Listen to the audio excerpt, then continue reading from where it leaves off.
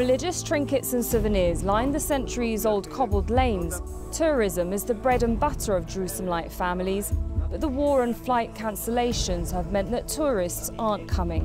We are next to the Church of the Holy Sepulchre, very good location for the tourists.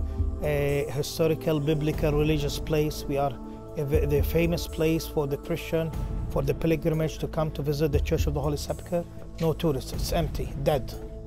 This should be the busiest time of the year with Christmas and New Year around the corner and usually these lanes and these shops are incredibly busy with tourists from all around the world. But if you speak to any of the shop owners, they'll tell you that business has all but dwindled.